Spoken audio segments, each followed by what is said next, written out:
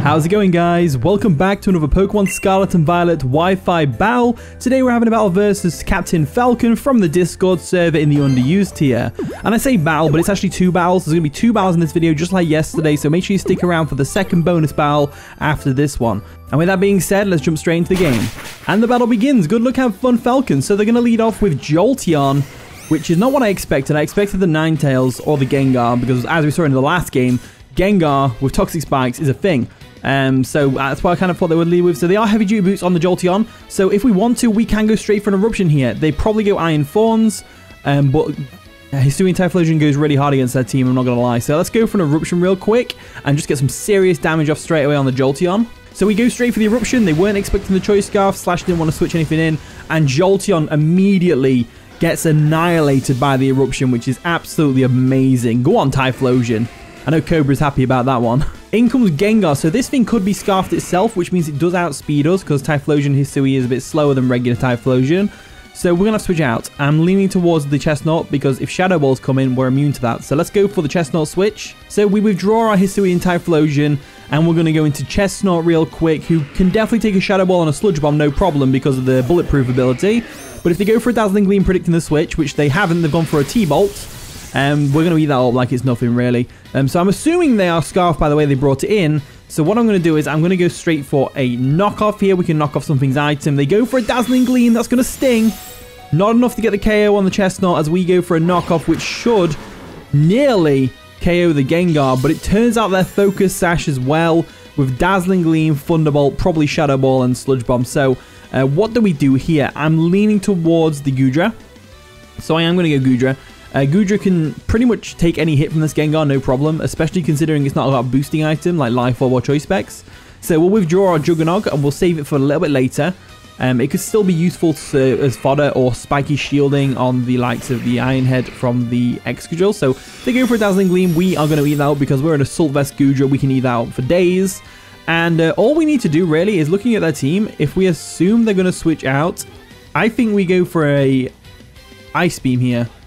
I, I go for an Ice Beam. They go for the Destiny Bond. No, I always fall for the Destiny Bond. I'm such a klutz. Every This poor Goodra. I think this is the second time this Goodra's gone down to a Destiny Bond Pokemon. And I think it was Gengar last time as well, actually, now that I think about it. So Gengar goes down, but it does take Goodra with it. So Goodra can no longer be used for the likes of the Sceptile or the Jolteon, which is really unfortunate, and the Ninetales to be fair to an extent. So um, looking at that team, I would say our best bet is probably going to be Typhlosion, because it does really well against their entire team. I need to mark off Jolteon as well on my little list. So they do go Ninetales, which is great for us. So Ninetales comes in, gets the Snow up, obviously. Not yet, though. We go into Cobra for real, the Typhlosion. We're going to frisk the Light Clay, which is good to know. I mean, it was pretty obvious there would be that. And there's the Snow Warning. So now, all we have to do is fire off an Eruption, and that should KO the Ninetales. They pretty much have to go into the Iron Thorns here. So we they, they, they let the Ninetales go down. They haven't really... They are, assuming Typhlosion is just doing really good work against this team. Um, there isn't much they can do against the Hisuian Typhlosion. They need a free switch in with the um, with the Iron Thorns. They obviously know we're Scarfed because we outspread the Jolteon, so they know they can set up a uh, Dragon Dance right now with Iron Thorns. So Iron Thorns comes in. They are probably going to set up a Dragon Dance here, which means I have to switch out. Um, I'm leaning towards the uh, Chesnaught or the Granbull. I think I'll go with the Granbull play just so we can get the Intimidate off. I think that's going to be really useful. So there we go. Into the Granbull we go. Good old Bully. I called my Terrakion Bully as well, I realised, but doesn't matter. So anyway, Intimidate comes through on the Iron Thorns. They go for the Dragon Dance. They are back to neutral attack, but they are fast AF right now. They aren't as fast as my Hisuian Typhlosion, though, if we Tera Grass, which is good to note. Um, so now we pretty much force a Tera because they have to switch. They have to Tera, otherwise they get hit by a close combat or an Earthquake. So I think we go for a Play Rough. I'm going to go for the Play Rough because I know I can take a hit from this thing, no problem. If they are loaded dice Rock Blast, we might not live a Rock Blast, but I think we probably do because we are quite bulky. So they are going to Terastallize as I expected, and they usually Tera Flying. So I think we went for the right thing by going for a Play Rough here. So they're going to Tera into a Electric type. So we could have gone for the EQ, but Tera Flying is pretty common on these things, so I was kind of expecting that, but I guess Tera Electric works as well, as they go for another Dragon Dance, which is obviously going to make them a very big threat right now.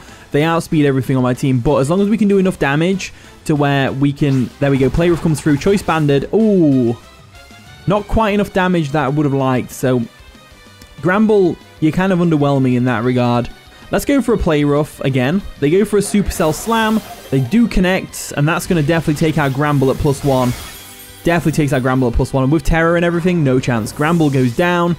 Uh, Iron Thorns is a problematic Pokemon, that's for sure. So what do we do here?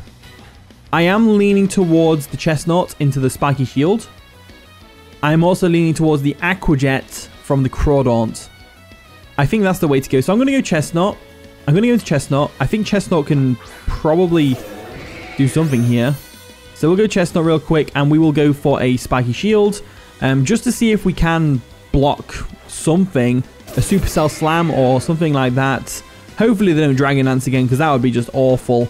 They go for a Pin Missile. So Pin Missile, they've got ranged attack, which is unfortunate. So that is going to not get Spiky shielded or anything like that. We do wear off the snow, but that doesn't really matter. Um, so now, if they're going to go for that, I just go for a Drain Punch and just let my thing go down. So they go for a Pin Missile, and they miss. So Chesnaught is going to swiftly avoid that, but we don't quite get the KO with the Drain Punch. We are able to get some health back, though, which is nice. Um, that's very nice. So we'll go for another Drain Punch. Um, they go for another Pin Missile. That is going to hit this time. And if it's loaded dice like I suspect it is, I should have gone for a knockoff, really. If it's loaded dice like I suspect it is, that's going to take us out. No problem. It actually takes us out three hits, so that's no problem there for the Iron Thorns. But now, the Iron Thorns is in a bit of a predicament because now we have good old Crawdaunt in the back here, Dench Craw who can use Aqua Jets. So we have got priority here, which is great. So Crawdaunt comes in. And to be fair, Aqua Jet might have KO'd anyway without the Drain Punch, but I didn't, I want to risk it, so I'm going to go for the Aqua Jet. Like, worst comes to worst, I would have, like, terrored, terror watered my Crawdaunt there, just to make sure the Aqua Jet KO'd if we didn't get the Drain Punch off. So it's not really that big of a deal that we missed the first Pin Missile.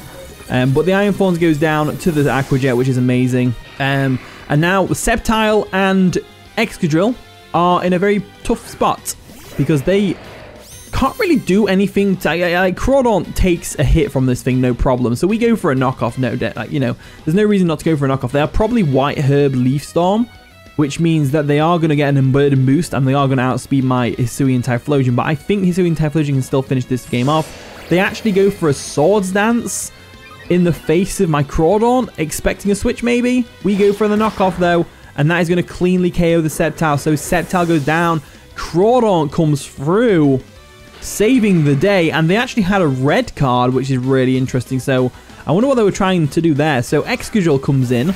Now, unless this thing's scarfed, it could be because it's Mold Breaker. We should be all right. Um, they are Air Balloon, though. That's that's good to know. So we have got a Focus Sash intact still. So we can go for a Liquidation here. They go for an EQ. That's obviously going to take us down to a Sash, probably. Uh, doesn't even do that. We go for a Liquidation. And that's going to be the end of the Excadrill, and that's going to be the end of the game. So GG, Captain Falcon. That was a fun one. There was a little bit of hacks, but you know, it is what it is. It's the game we play at the end of the day. I can't decide whether I want Crawdaunt. I think Crawdaunt deserves a spot because he kind of pulled the game back. Like Typhlosion on paper did a lot to that team, but Crawdaunt, amazing. Amazing stuff. So GG, get Captain Falcon. On to the next game. And the second battle of today is against Lemon from the Discord server in the underused tier again, using the same team as the first battle. This is a bonus battle after all, so we're going to use the same team of course. So looking at their team, they have a very powerful threatening team. Um, it looks like Typhlosion could put some work in here if we get rid of the Keldeo and the Haxorus. Eruptions and Shadow Balls galore. But um, until that happens, and luckily there's no Destiny Bond mons, which is great. So um, we could lead off with Crawdaunt right off the bat and just go for a liquidation or a knockoff, but then the Keldeo just kind of walls us. So I'm tempted to lead off with the Forretress to get the Stealth Rocks up right away because they don't seem to have a Hazard Clearer. So that's exactly what I'm going to do. I'm going to go for the Forretress lead and we'll just go from there. And the battle begins. Good luck, have fun, Lemon. So the Lemon's going to lead off with Tinkaton as we led off with our Forretress. So we can go straight for a Stealth here. They probably do the exact same thing, to be honest with you. So um, they're going to break the mold. Now, if I go for a Stealth Rocks and they go for a Stealth Rocks, they're going to go for an Encore afterwards, right? So we go for a Stealth Rock real quick.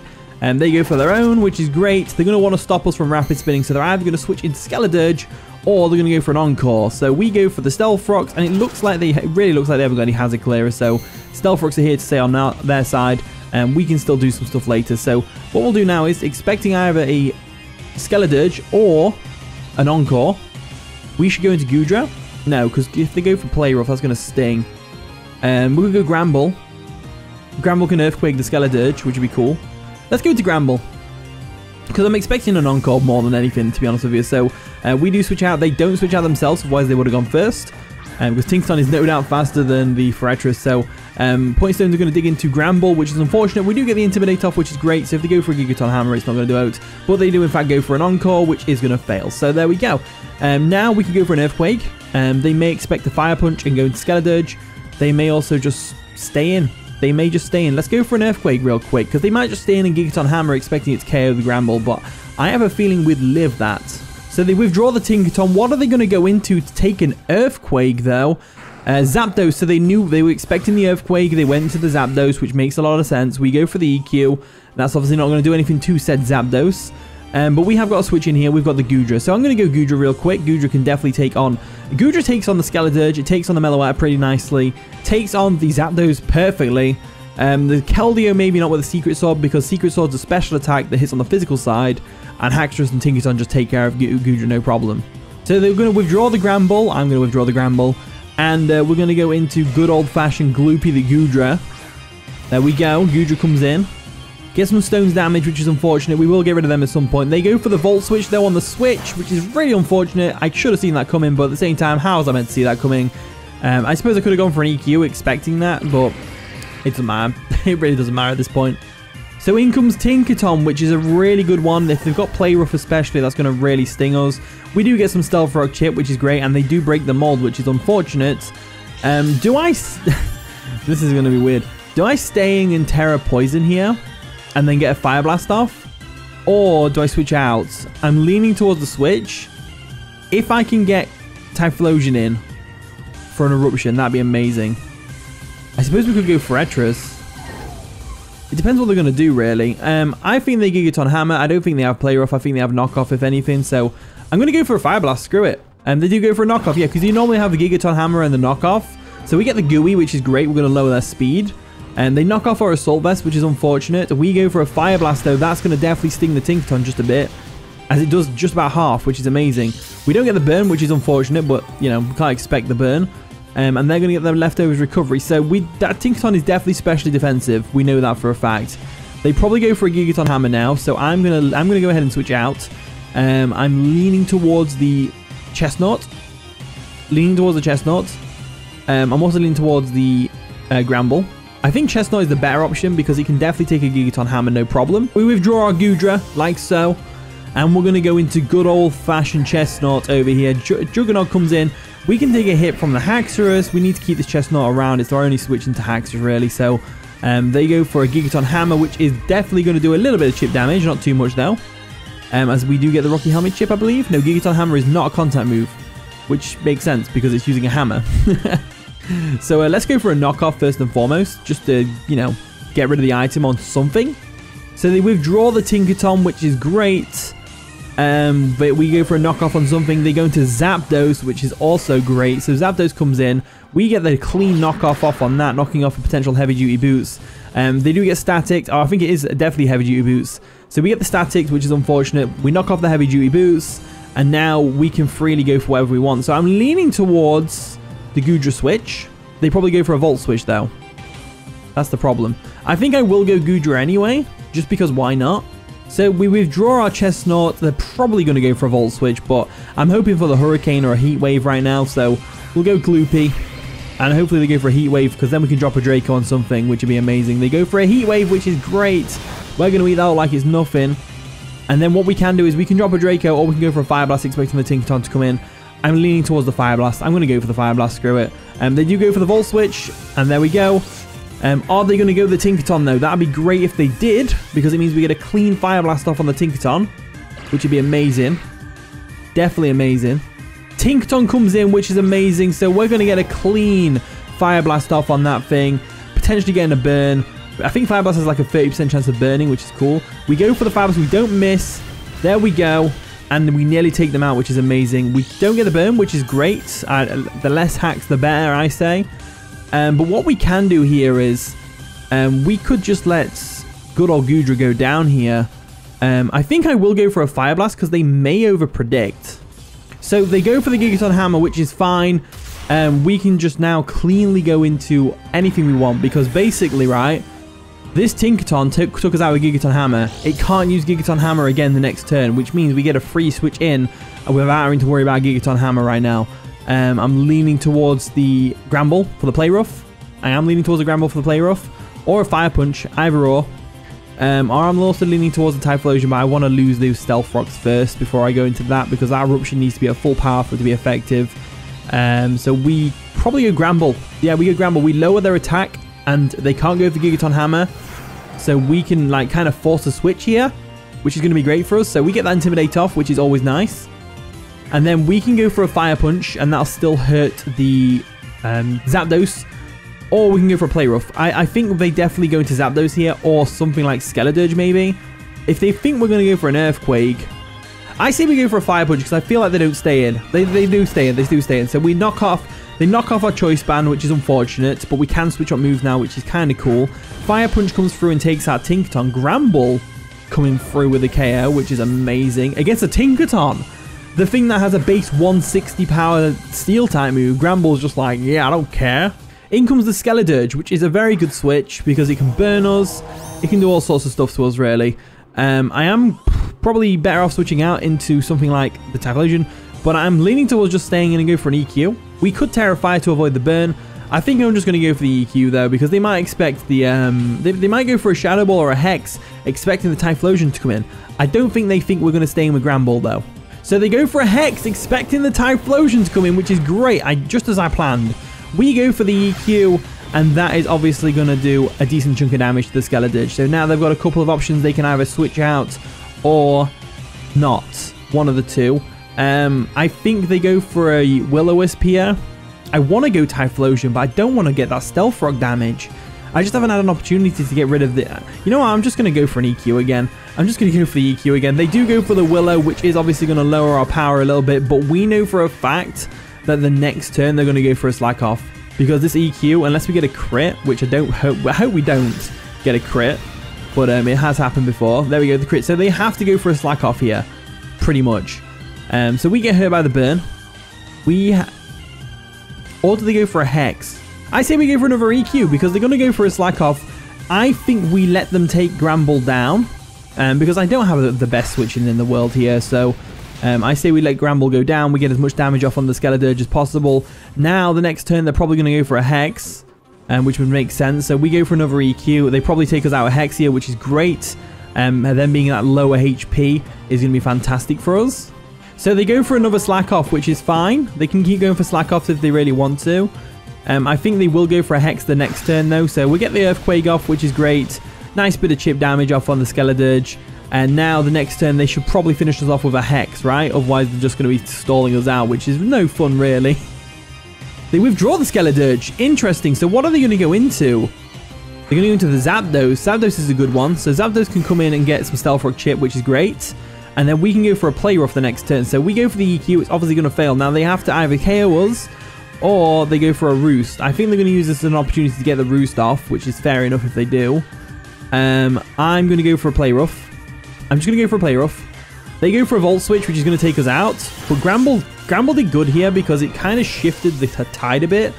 Um, I'm hoping we can pull this back, but I'm not 100% confident because this team that we're going against is very good. It's a very well-built team. It's hard to work around. So in comes Keldeo, which is a good switch. Keldeo is a very good switch here. And um, they get some Stealth Rock Chip, which is unfortunate. Now what do we do? Now what do we do? I'm leaning towards the Forretress, but I don't want to go down, you know? I'm also leaning towards the Chesnaught. I think I will go Chesnaught. I think Chesnaught's the way to go here. So what we'll do is we'll Leech Seed because they're probably going to flip turn, right? They might be choice specs for all we know. Um, so I should go for a Spiky Shield and Scout. Let's see what they're going to do. We'll see if they're going to go for an Icy Wind. So we go for a Spiky Shield. Let's see what they lock themselves into. They might go for a flip turn for all I know.